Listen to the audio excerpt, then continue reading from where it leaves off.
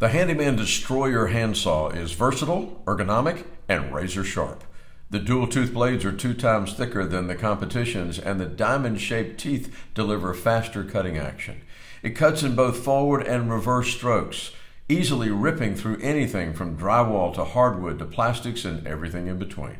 The curved, comfortable, ergonomically designed handle provides greater control and leverage while reducing arm and hand fatigue. Give your hard-working hands a break and contact your Momar Handyman sales team member to order yours today.